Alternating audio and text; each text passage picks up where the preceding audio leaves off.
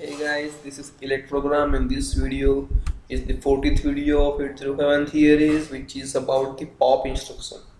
So in previous video we have seen the push instruction used to copy data from the source address to the stack and here pop is used to copy the data from the stack to the destination address.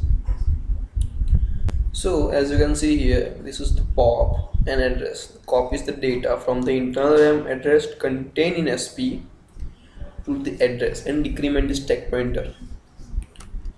So let's see the pop instruction in brief. So the loading of contents of the stack back into the CPU register is called pop. So in previous uh, push instruction video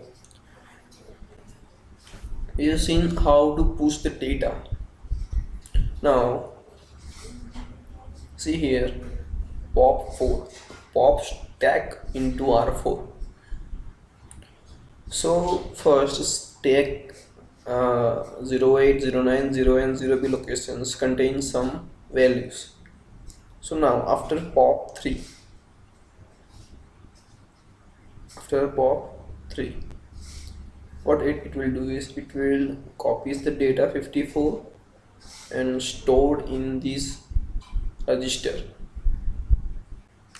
Pop 3 pop 4 whatever it is. And decrement the stack pointer.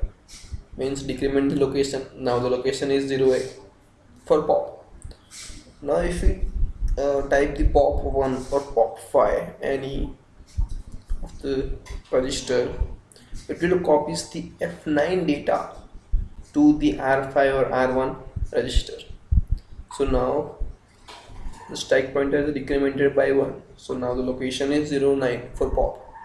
So now pop 6 means copies the data to r6 so it will copy the 7 uh, 6 data to r6 then the address is decremented and now the address is 08 so now after some pop 2 instruction it will copies the data 6c to some destination address and uh, then it gives the default stack pointer address 07 so this is the push and pop instruction used for stack pointer.